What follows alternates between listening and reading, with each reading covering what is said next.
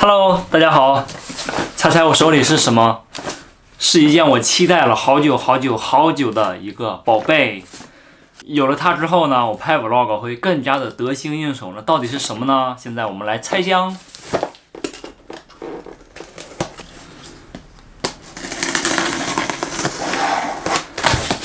好，现在要打开喽！三、二、一。哎，东西有点多啊。先看这顶帽子，大家可不可以猜到是什么东西？怎么样，猜到了吗？看这里，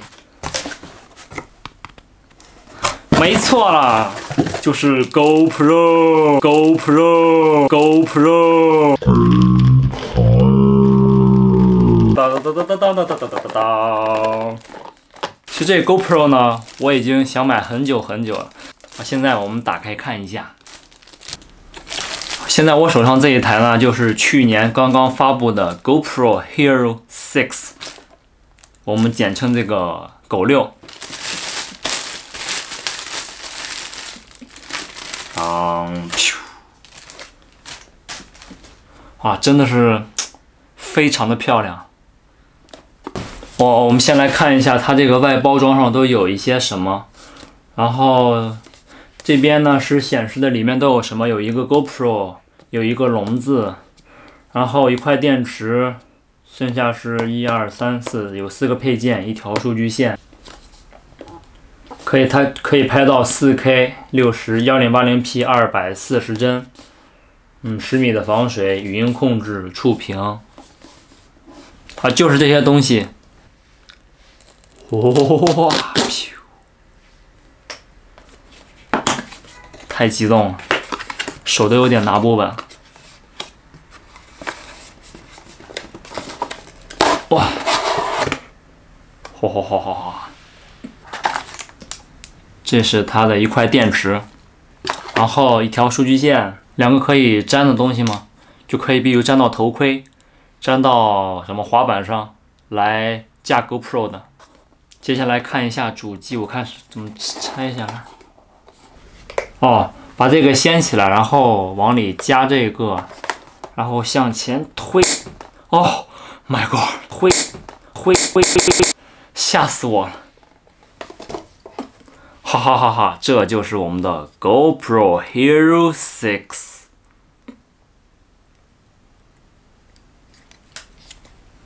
由于之前呢。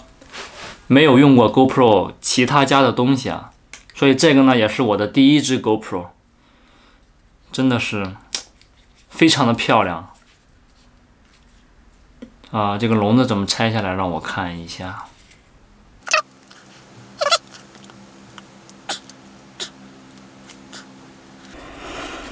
等一下，哇！这个真的挺难，挺难掰的。看是这样的一个设计，这里抠一下，这里还能合上。它是这样的一个设计。然后当你想打开这个笼子的话，就需要使劲的抠，抠，哦，抠这里，然后笼子就打开了。接下来就看到了我们这个本体。这个唯一可以区别它和 GoPro Hero 5的标志呢，据说是这里写的字不同，Hero 6，然后其他都差不多了。刚刚呢，为我的 GoPro 完成了充电，同时呢，也让 GoPro 和我的手机做了一个配对。那接下来呢，我会到户外拍一些画面，看看 GoPro 的表现到底怎么样。我们外面见。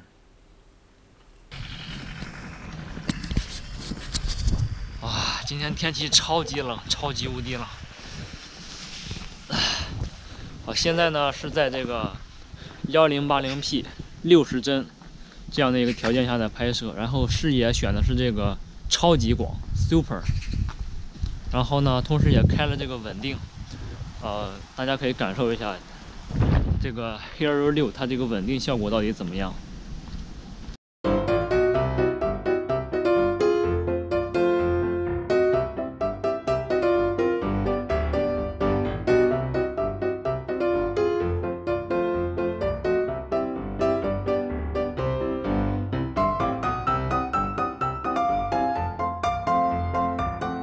现在呢是这个幺零八零 P 六十帧，然后呢我开启开启了这个线性模式啊，因为可能有时候我们剪拍视频的话，那个用广角的话可能会与其他的视频就是剪辑在一起的话显得比较突兀，所以说有的时候我们会用到这个线性模式。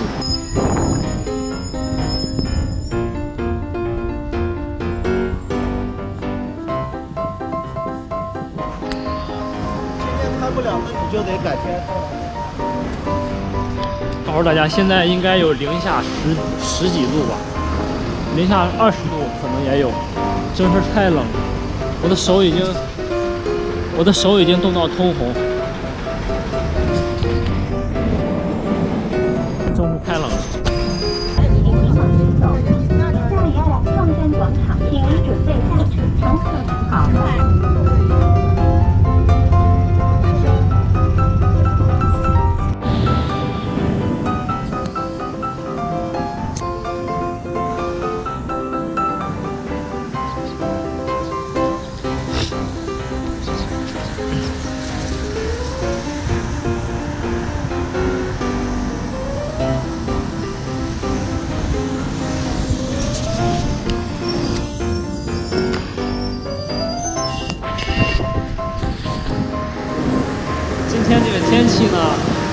天非常的蓝，但是气温非常的低，非常的低。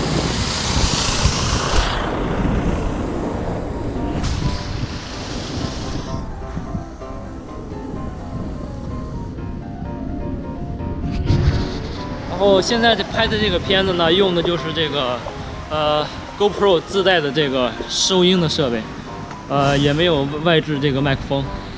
所以大家听到的声音呢，就是它收的这个声音。不知道就是这个声音的效果怎么样，可能会照这个麦克风的效果会差一点吧，因为我之前的相机嘛配的是那个 Rode Video Micro，我也不知道啊现在。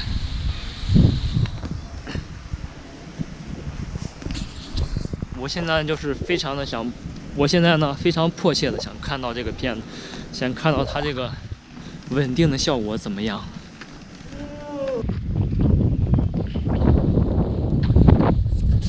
好，再小跑一段，看看它这个稳定效果到底怎么样。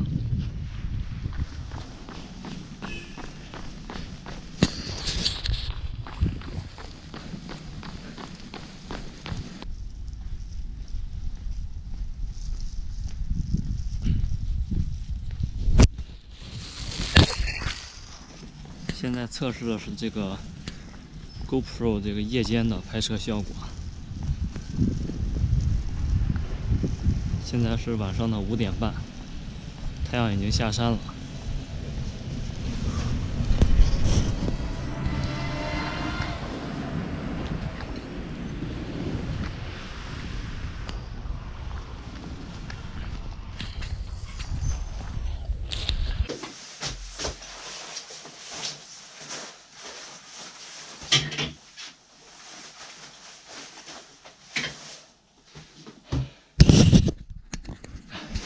现在呢是这个晚上的八点，不是，现在是晚上的九点钟。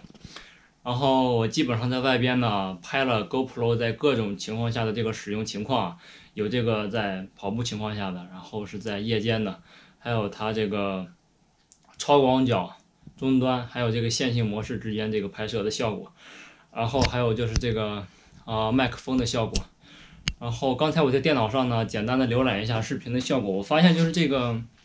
不知道为什么，不知道是我电脑的原因，还是这这一台 GoPro 有毛病，因为就是那个视频会有那个颗粒的感觉，呃，不论是幺零八零 P 这个六十帧还是四 K 的，拍出来的效果呢都有那种颗粒感，所以我不知道是这台机器的原因呢，还是我电脑不太兼容它这个格式的视频，所以说，嗯，等一下我可能会解决一下这个问题吧。